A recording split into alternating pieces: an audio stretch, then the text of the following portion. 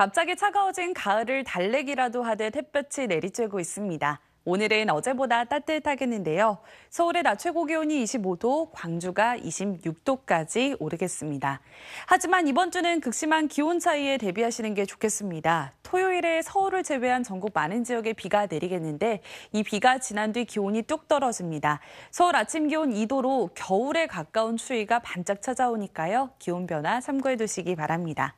현재 중부지방은 맑은 하늘 드러났지만 남부와 제주도에는 구름이 지나고 있는데요. 제주도는 앞으로 비가 조금 더 이어지겠습니다.